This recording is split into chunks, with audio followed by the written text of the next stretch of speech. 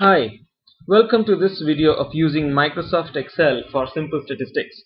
We are going to talk about a few descriptive statistics today like the mean, median, the standard deviation and range and how to easily calculate it using Microsoft Excel. Well, we have a couple of assumptions here. The first assumption is that you know what mean, median, range, standard deviation are and also that the data analysis add-in has been installed.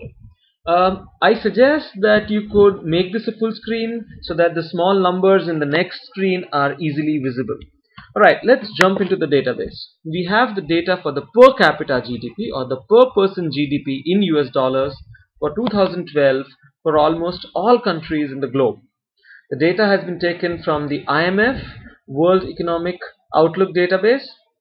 Uh, there is a definition of GDP which I have picked up here from Wikipedia uh, and the per capita GDP is the GDP divided by population. Uh, there can be a debate if GDP is a right way to compare countries, but we'll ignore that debate and jump into our main task. So, the, if you look at the huge data that we have here, it's almost 180 plus countries for which we have the per capita GDP. We need to find the basic descriptive statistics.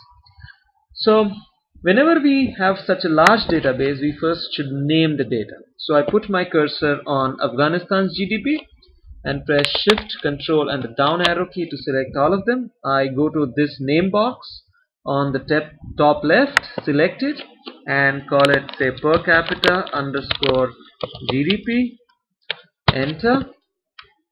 Alright, so this all these data here have a name now, PC underscore GDP. Now let's work on this. How many countries do I have? So number of countries well this is equal to count PC underscore GDP so to count the number of countries. We have 185 countries in our data. I need the mean. So I say write the mean and say equal to average of PC underscore GDP Look at this, irrespective of the size of the data, it's so easy.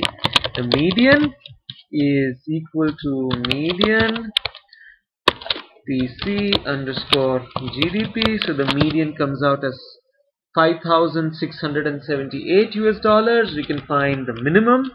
I need the minimum or the smallest number. So I say equal to min. Um, PC underscore GDP bracket closed. I need the maximum number. So I say equal to max.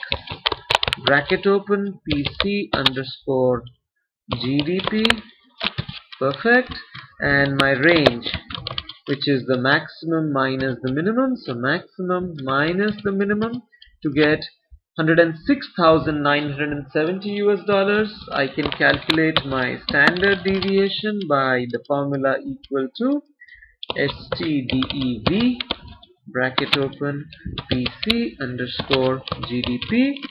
Uh, it does not matter that the name is in capital or small and say enter to get a standard deviation of 19380.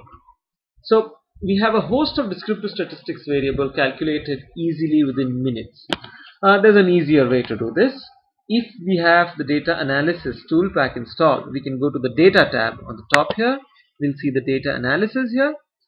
I select data analysis and then I scroll around to locate descriptive statistics which is here. I select it. I get this box in the input range. I select PC underscore GDP. We already know this. My data is grouped in columns. I do not have the label because I've selected it from here. The output range, I select it, place my cursor here. I want the output here so I can compare both the data sets together. I want the summary statistics. I want the largest number and the smallest number. We can select the second smallest, third largest, whatever we want here and say, okay, and here I have my complete data of the descriptive statistics. The mean is 1 13,431 13,431 in case I want the decimals I can just increase the width of the column. The median is 5678 that's an interesting ascending order number 5678 we see the same number 5678 here.